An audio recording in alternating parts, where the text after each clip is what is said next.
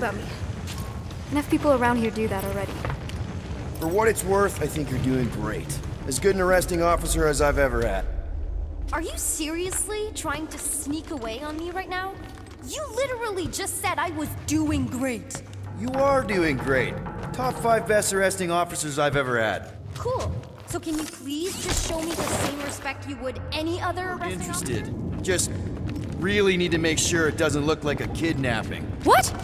No, no. Just just promise you won't tell anyone about this place. Oh, wow! Don't laugh. No, no! This is cool.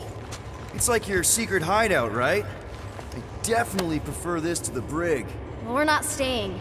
I just need to check on Ultimo. His gyros have been all surreact. Even Peter was saying so. Oh, he was, was he? I suspect Peter misspoke, something he often tends to. Mom! I seriously have no idea what you're talking about.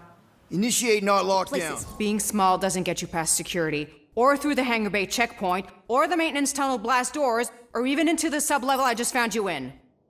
There was that system-wide glitch, remember? No. You empty your pockets.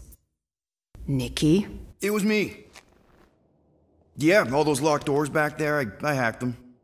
You hack them? Yeah, I'm a hacker now. I, I hack stuff. You know, beep bop boop, boop boop beep. I told him it was restricted.